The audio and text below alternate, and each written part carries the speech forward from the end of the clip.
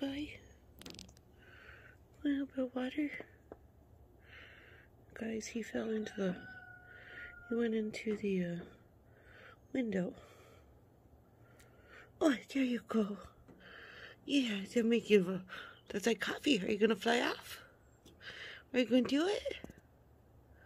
Come on, you can do it. Come on.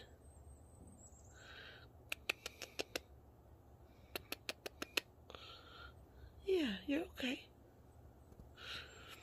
Hi, baby. I hope he survives. Been keeping him awake so he doesn't fall asleep with a concussion. And giving him little dabs of water.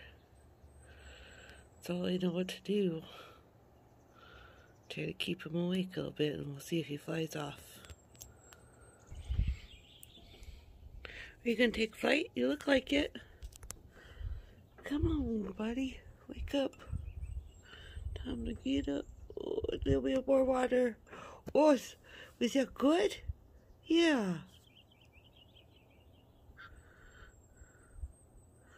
He seems like he's perking up, guys. I hope he flies off.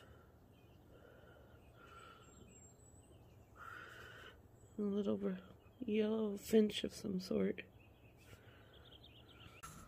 I don't think you're going to be able to see him, but he flew off and landed on the tree right there.